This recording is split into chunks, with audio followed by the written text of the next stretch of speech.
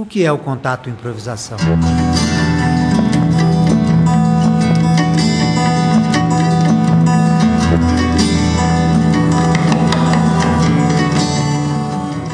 Há muitas definições, mas nem sempre um consenso.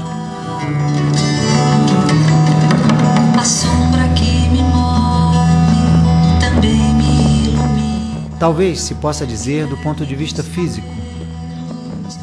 É quando duas ou mais pessoas se movem juntas, dando seu peso um ao outro de forma consciente, atenta e fluida.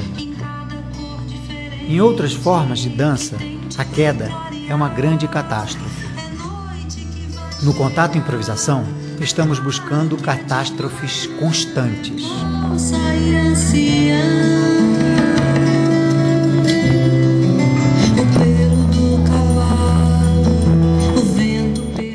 Tipo de linguagem, uma forma de comunicação para além das barreiras culturais.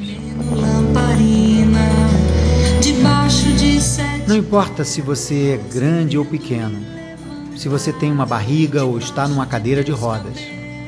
Não importa a sua nacionalidade, você pode começar a se comunicar imediatamente através do contato. Talvez essa seja uma das revoluções do contato improvisação, rompendo com todas essas limitações.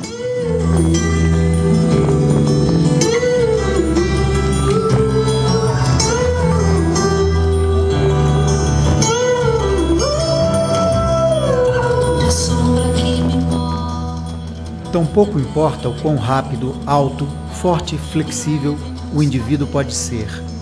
Esse não é o ponto.